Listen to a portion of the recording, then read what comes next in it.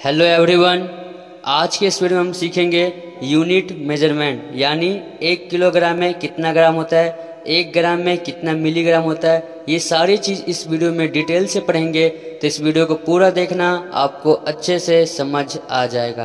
तो चलिए वीडियो शुरू करते हैं। तो पहला है, एक किलोग्राम में कितना ग्राम होता है? तो एक किलो में होता है एक हज़ार ग्राम वन थाउज़ेंड ग्राम एक किलो में होता है। दूसरा है, एक ग्राम में कितना मिलीग्राम होता है? तो एक ग्राम में एक हज़ार मिलीग्राम यानी एमजी होता है। तीसरा है, एक किलो यानी एक किलोग्राम में कितना कैरेट होता है? तो एक किलो में होता है पाँच हज़ार कैरेट। कितना होता है? पाँच हज़ार कैरेट। इसके बाद है, एक किलो में कितना पाउंड होता है? तो एक किलो में होता है two point two zero pound. इसके बाद है, एक ग्राम में कितना किलो होता है? तो एक ग्राम में होता है zero point zero zero one kilo.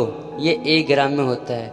इसके बाद है, एक ग्राम में कितना कैरेट होता है? तो एक ग्राम में पाँच कैरेट होता है। इसके बाद सातवा है, एक पाउंड में कितना ग्राम होता है? तो एक पाउंड में चार सौ तिरपन पॉइंट पाँच नौ ग्राम होता है। चार सौ तिरपन पॉइंट पाँच नौ ग्राम एक पाउंड में होता है। इसके बाद है, एक पाउंड में कितना किलो होता है? तो एक पाउंड में zero point four five three zero K G यानी किलोग्राम होता है।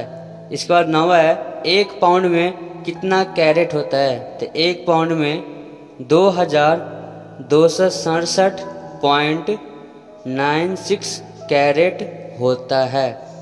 इसके बाद दसवा है, एक किलो में कितना मिलीग्राम होता है?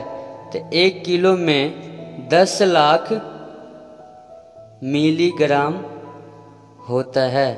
एक किलो में दस लाख एमजी यानी मिलीग्राम होता है।